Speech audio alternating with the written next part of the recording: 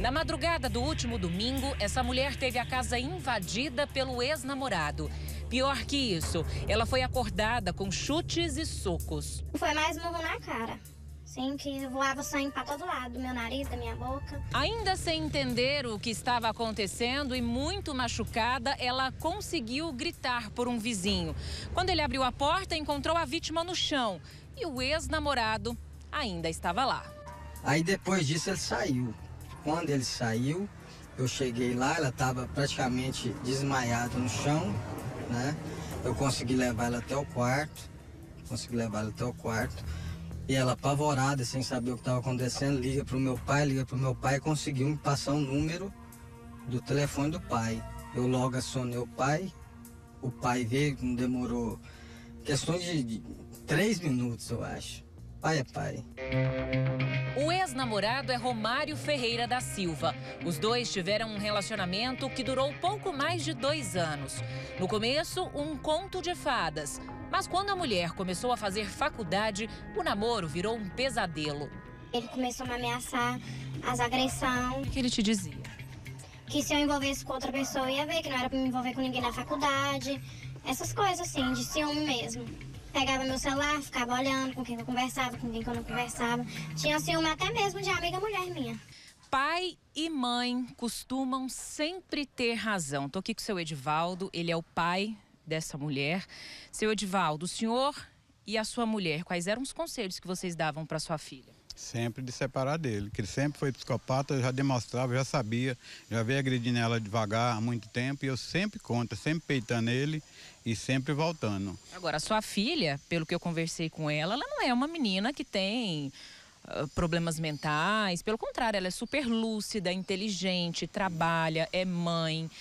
Por que, que o senhor acha que ela não caía fora desse relacionamento? Pelas ameaças dele. Por Medo. Medo, ele é agressivo, ele é intimi- intimidador, ele não tem medo de ninguém. Então, ela não largou dele totalmente porque ele não aceita. Ele é um psicopata, ele não aceita o fim do relacionamento. E ele é tão agressivo que, só para vocês terem uma ideia, depois desse fato em que essa moça foi agredida, ela foi levada para um cais, foi socorrida, recebeu ali os primeiros socorros, os, primeiro, o primeiro atendimento médico. Seu Edivaldo foi para lá como pai que é, cuidando da filha, e lá no, no, no cais o senhor percebeu que ele tinha, além de agredido a sua filha, tinha roubado algumas coisas dela. O que, que ele levou? O celular dela, 350 reais em dinheiro e uma bicicleta do meu neto. O senhor ligou para ele querendo saber o que, que tinha O acontecido. telefone dela e ele atendeu. Eu falei, chamei ele de covarde, que ele batia em mulher, eu sabia. Agora que ele era ladrão, eu não sabia. Ele foi, ficou grilado comigo que não era ladrão. Foi ladrão e covarde, só bate mulher, você não bate em homem. Vem aqui que eu tô na porta da casa dela, vem aqui que eu vou provar, eu bato em homem. Falei, pois vem no cais, que eu tô aqui. Ele falou, tô indo agora. Cinco minutos ele tava na porta do cais. E eu já tinha falado pro guarda municipal.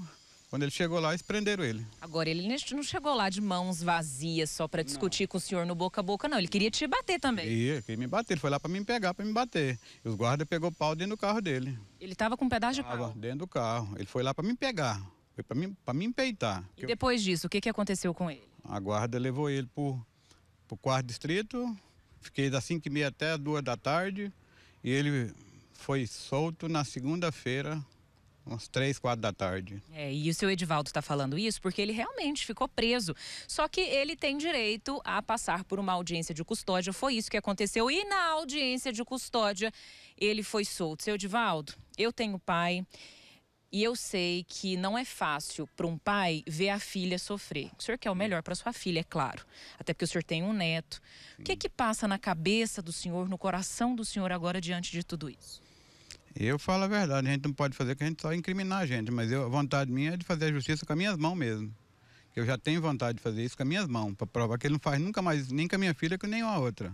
Porque ele é um covarde, ele é um covarde, só bate em mulher. O senhor não queria que a sua filha estivesse passando por essa situação? Nenhum. Minha filha está aí fraturado o rosto, mandíbula, nariz, fazer cirurgia, enquanto o malandro está solto. Como é que o senhor se sente? É uma sensação de impotência, né? De justiça zero. Justiça não vale nada. A vítima foi encaminhada para o Hospital de Urgências de Goiânia. O laudo médico prova que ela teve um trauma na face e vai precisar de cirurgia. Por telefone, eu conversei com uma ex-namorada de Romário, que passou por situações parecidas. Ele tacou um de perfume na minha cabeça. Ele, ele chegou a me agredir, a me morder, ele mordeu meu peito, até hoje tem um nódulozinho no meu peito. No dia da agressão, a família procurou a polícia, mas eles foram orientados a procurar a delegacia da mulher dois dias depois. A família esteve no quarto CIOPS, onde eles estavam buscando uma medida protetiva até para poder resguardar a vida dela e do pai, que também foi ameaçado. Mas, infelizmente, a, a informação que eles me passaram é que o delegado falou: procure a delegacia da mulher na quarta-feira como se ele não tivesse autonomia para fazer esse pedido. Nessa publicação, ele agradece por estar em liberdade. Eu tô presa e ele solto, e as pessoas têm que fazer tudo para mim, sem trabalhar, sem ver meu filho, porque eu não vou deixar meu filho me ver desse jeito, sem fazer nada, presa aqui.